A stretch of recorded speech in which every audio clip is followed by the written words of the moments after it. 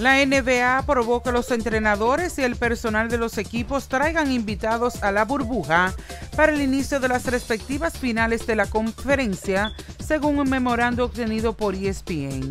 Cada equipo, incluyendo a los entrenadores en jefe, la oficina principal y el personal, no puede traer más de 10 invitados al campus de Disney, comenzando con cuarentenas de 7 días en el lugar, según el memo.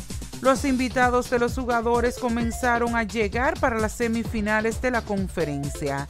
Pa' que te enteres con Raquel Infante.